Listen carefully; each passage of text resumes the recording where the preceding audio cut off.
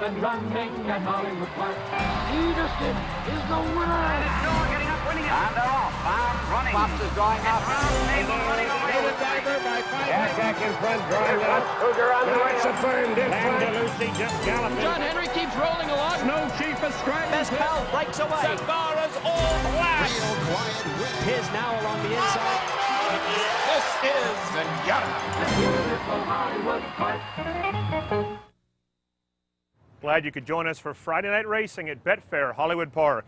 Good eight race card, perfect weather, and a big weekend ahead. A Grade One Stakes doubleheader on Saturday, the Shoemaker Mile and the Triple Bend. Mr. Commons the favorite for the Shoe Mile, the Factor the favorite for the Triple Bend. Two Grade One Stakes on the 10 race card, one o'clock post time on Saturday. First things first, let's get right to the action of Friday night racing. Field of eight $6,000 claimers traveled seven furlongs in the opener. Fillies and Mariners for a purse of $17,000. Memo to Kathy looks for back-to-back wins. She's a second choice. Indy Beauty the favorite, even money. Six went seven in the opener. They're off. Memo to Kathy and Lisa Lulu. Lisa Lulu to the front. Sunshine Highway a sharp third. Then comes Indie Beauty and Flashy Traveler, and the trailer is Warren's Mystery.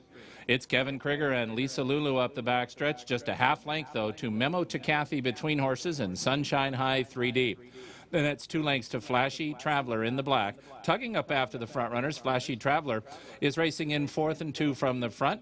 Then comes just inside of her Indie Beauty, and the trailer now is Warren's Mystery as they run past the half mile pole.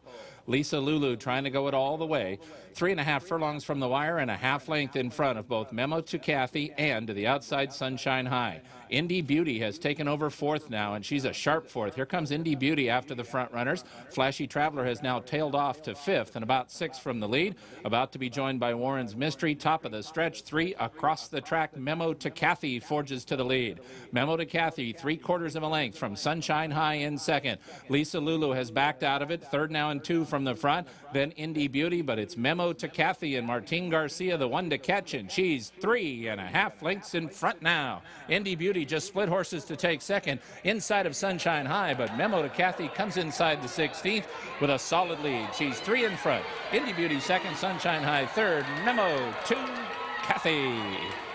Memo to Kathy won by two. Indy Beauty second, Sunshine High third. Warren's Mystery got fourth. Back-to-back wins for this four-year-old daughter of Grey Memo. Memo to Kathy, trained by Bill Spawr, ridden to victory by Martin Garcia, $5.60. Favorite Indie Beauty was second, third, Sunshine High. Trifecta $15.40. Final time 127 and 3. Race number two, six and a half furlongs, maiden claimers bred in California, claiming price of $50,000.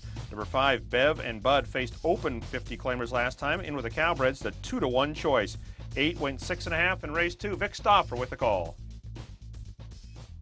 They're at the post. They're off. Wow, even start. All eight of them right across the track. We'll just wait until something happens. Chicks Digs the Shark is going to poke ahead in front from Awesome Year at the rail. Hey Polly is between horses. Now these three kick on. Then Not a Hobby and a Bevan Bud at the rail. Full Dancer is next. Pork Chops the trailer. Unusual Mystery was in that first flight, now drops back to the second flight, so three across the track. Chick Digs the Shark is three deep. Hey Polly is between horses and Awesome Year is at the rail, and those three are about a length and a half in front of Bevan Bud, who is running strongly fourth at the rail, but nowhere to go right now. Not a hobby going to be four wide at the quarter pole. Unusual Mystery and Full Dancer have only three lengths to make up, and the trailer is Pork Chop, four lengths first to last as they run around the far turn to the quarter pole. Awesome Year narrowly in front. Here comes a five wide run from Full Dancer in the center of the racetrack, and Full Dancer stretches out, but comes all the way to challenge the lead and take the lead. Full Dancer with a sweeping move at the top of the stretch is now two in front. Awesome Year just lost second to Bevan Bud, who moves through at the rail, then Not a Hobby and Pork Chop, but Full Dancer made that big move at the quarter pole, and it's going to put him in the winner's circle. Full Dancer and Brice Blanc. Yes. Full Dancer won by better than two and a half. Bevan Bud was second, Awesome Year third, close for fourth, Not a Hobby and Pork Chop. Full Dancer makes his second career start, a winning one for owner breeder Barbara Kelly. Leonard Powell, the winning trainer, Brice Blanc aboard, $12.40. Favorite Bevan Budd's second best, third was Awesome Year. Early double, 34.80. Final time, 118 and 2. We'll take a timeout, come back with the Friday night pick six. Betfair Hollywood Park is now open with exciting racing through Sunday, July 15th. World-class racing awaits you like the Grade 1 Hollywood Gold Cup and the Grade 1 American Oaks. Free contests like our Horses and Homers contest every Sunday where you can win your share of $600 cash. And of course, our famous Friday Night Live Rock at the Races concert series brings a great concert every Friday night to Betfair Hollywood Park.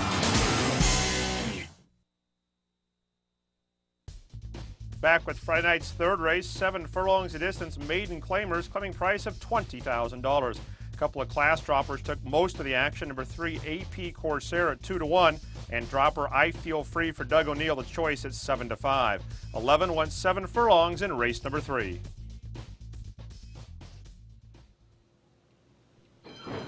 They're off. Good start for I Feel Free. And Yard Dog, also very quick into stride, is Colledimezzo, and Colledimezzo is going to have the early lead.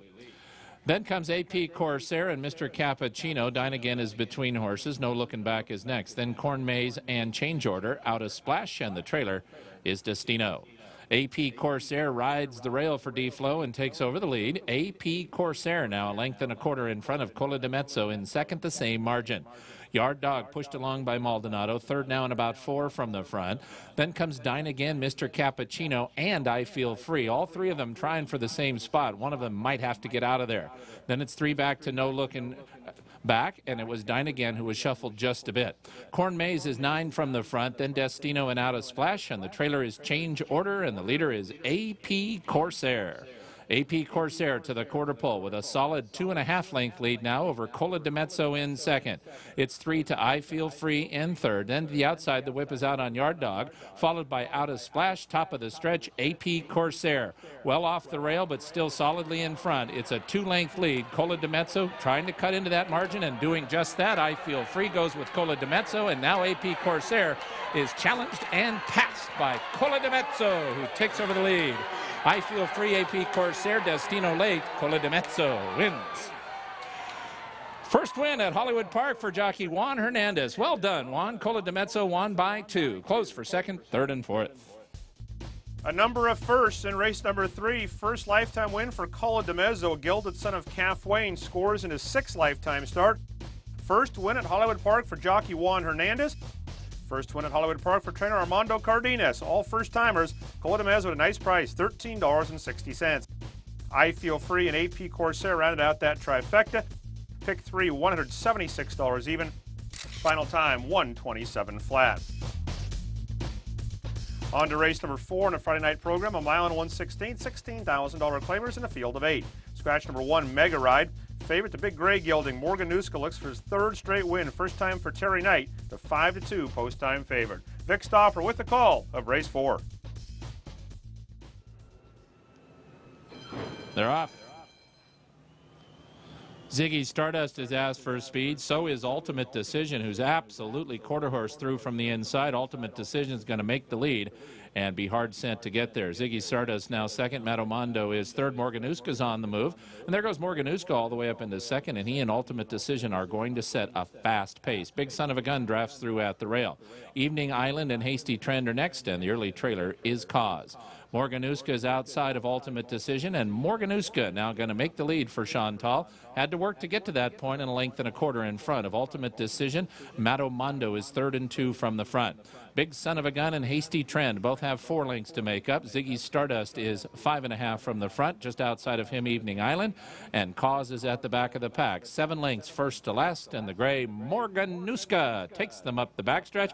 But here comes Ultimate Decision for another dose of it. He's going to go through and try to challenge again. And Morganuska is about to get two challenges from the outside. The first one is Mato Mondo, and there he goes all the way up, and we're going to have a new leader leaving the backstretch. Mato Mondo takes it over.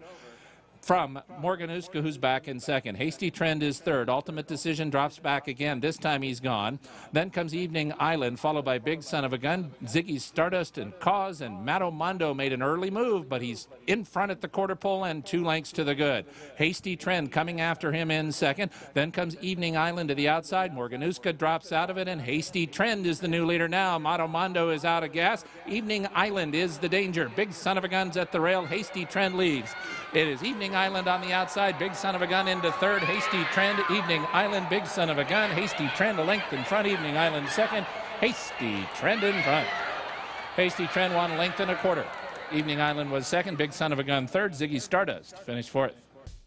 Small barn having a good meet. Victor Fernandez, three wins from 21 starters. First off the claim for this six-year-old gelding. One for $8,000, jumps up in class and scores nicely. Eswan Flores up, $10.80. Long shots, Evening Island and Big Son of a Gun completed that trifecta, good for $592.80. Two claims, Morganuska, five-way shake to Bill Morey. Number eight, Evening Island to Jeff Mullins, both those claims for $16,000. Final time, 146 and 1. We'll take a timeout, come back with the late pick four. Betfair Hollywood Park is now open with exciting racing through Sunday, July 15th. World-class racing awaits you like the Grade 1 Hollywood Gold Cup and the Grade 1 American Oaks. Free contests like our Horses and Homers contest every Sunday where you can win your share of $600 cash. And of course, our famous Friday Night Live Rock at the Races concert series brings a great concert every Friday night to Betfair Hollywood Park.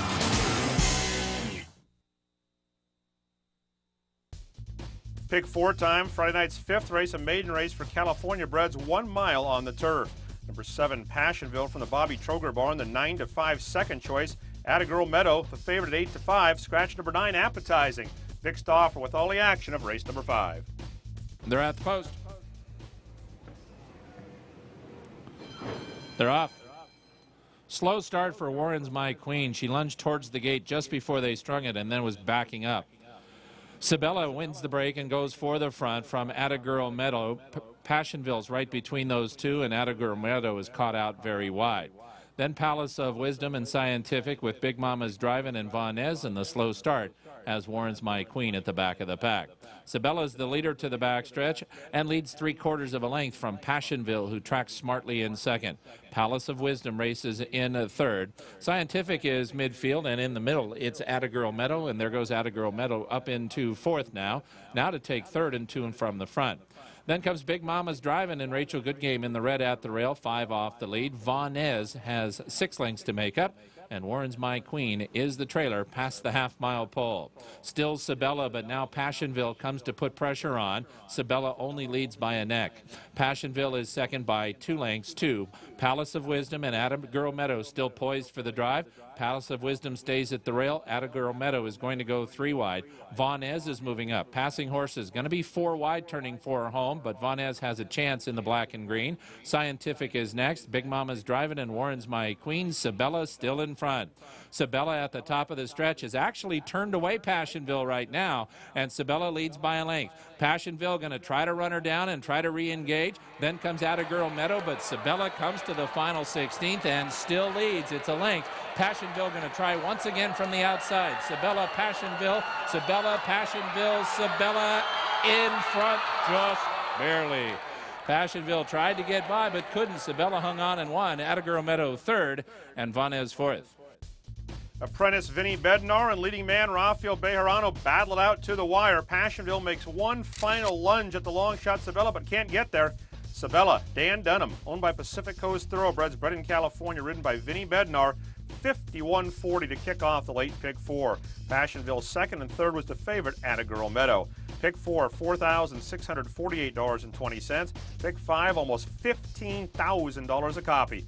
Final time, 138 flat.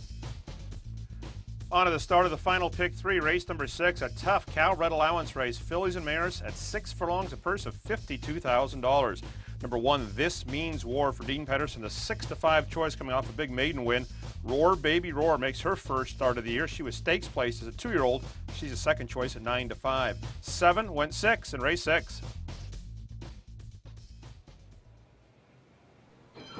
They're off.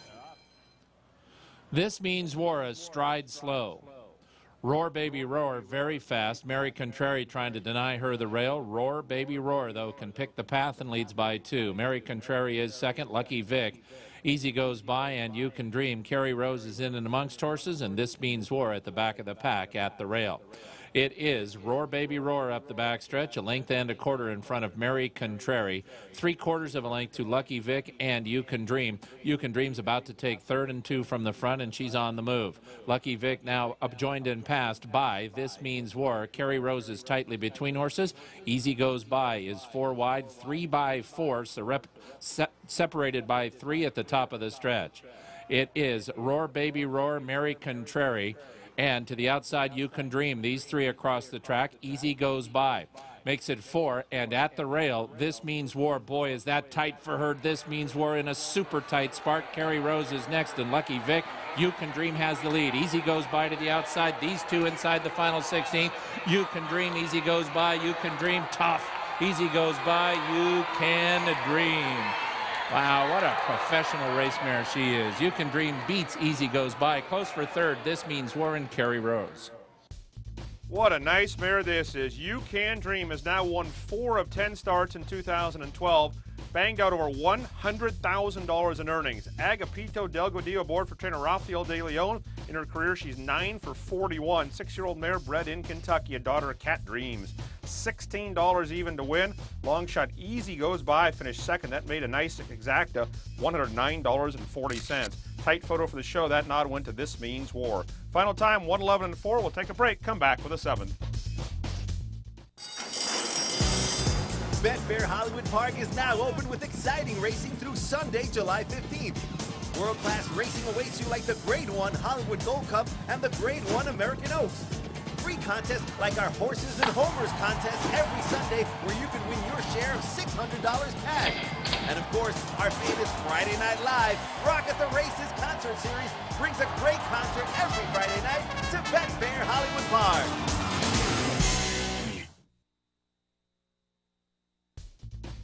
Back with Friday night's seventh race, a mile and three sixteenths on the turf, three-year-olds and up, a claiming price of $25,000. Quail Hill looks for back-to-back wins, the second choice at three to one. Imponente Purse was third in last year's Sunset, now entered for a $25,000 tag, is the favorite at five to two. Scratch to five, Isle of Prado, Vic Stauffer with the call of the marathon, featured seventh race. They're at the post. They're off. Quail Hill and Arcadoro break fastest. Quail Hill at the rail with the lead. Easy led and the centers on the move. Jerzino and Imponente Purse, then Wild Revenge, and the early trailer is Seeking Solace. It will be Quail Hill and Arcadoro 1-2 with one lap to go. Quail Hill's a neck in front. Arcadoro is second by two lengths, has easy led drafts in a good spot and gets to the rail. Well done. Easy led now two from the lead. Jerzino and Imponente Purse are fourth and fifth with four to come.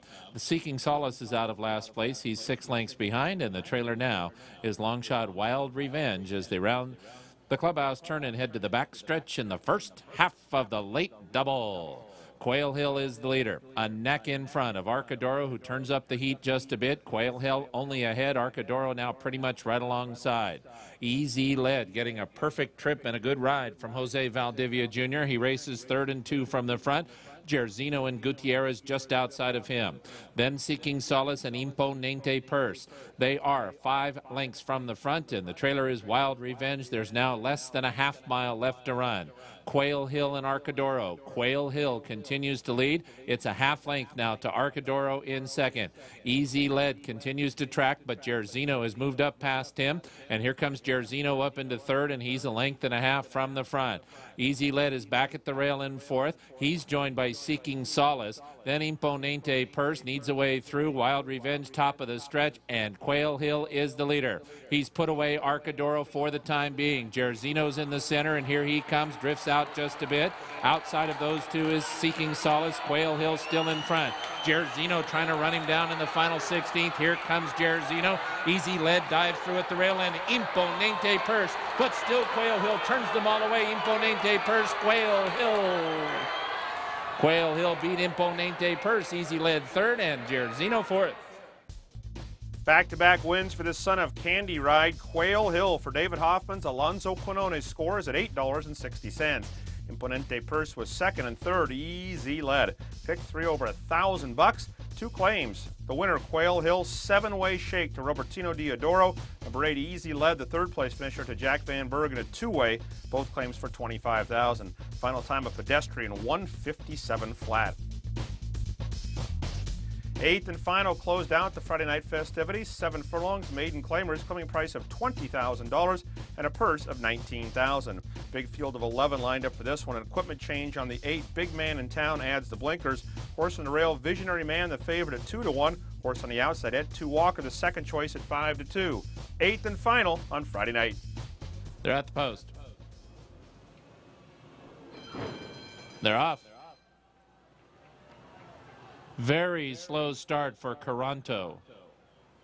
Big man in town and Warren's Wasco's son, Et2 Walker, is close up.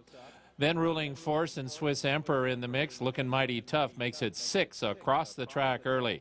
Visionary Man races in seventh. Then comes Tanjero and Side Pocket Kid. Willie Brown and the slow start for Caranto has him at the back of the pack. They mix it up up front, and ruling force moves through inside of Swiss Emperor. Big man in town and a four wide et two Walker. These four pass the half mile pole. Visionary Man and Bejarano in the perfect spot, tracking from fifth and about two and a half off the lead, looking mighty tough alongside him. Tanjero races next, about eight from the lead. Warren's Wasco's son has 10 to come. Side Pocket Kid begins his run. He is 11 behind. Then comes Cor Rento, and the trailer now is Willie Brown, who's dropped out. Et 2 Walker clears off at the top of the stretch.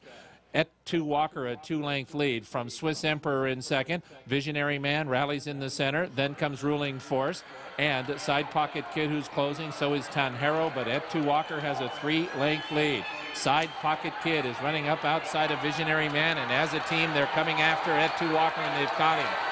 Side Pocket Kid, Visionary Man, Tanjero up into third, Side Pocket Kid. Side Pocket Kid beat Visionary Man. Tanjero finished third, Et 2 Walker fourth, and Caranto, that's the one that got left, rallied for fifth and is galloping out nicely. Three Friday nights ago, Side Pocket Kid had a very tough trip, probably was best. Clear sailing tonight, and he scores in his 15th lifetime start. Owned and bred by Tony Sardo, Don Warren, Eswan Flores a winning combination, $14.20. Visionary Man was second, 29 to 1 long shot, got up for third. That was Tanjero. Trifecta paid nice, $550.90. There was a claim in the race, Et 2 Walker to Doug O'Neill in a two way shake. Super high five, one ticket, $26,000 in change. Late pick four paid well, $5,264 and a quarter. Pick six, nobody had it. Carryover for Saturday, just over $70,000. Five out of six, $2,743.80. In the place pick all, Perfect tickets good for $3,289.20. One scratch on the Saturday card in the sixth race, to Triple Bend Handicap. Scratch number eight, comma to the top. He's entered back in Sunday's Curlin. Once again, that pick six carryover, $70,427.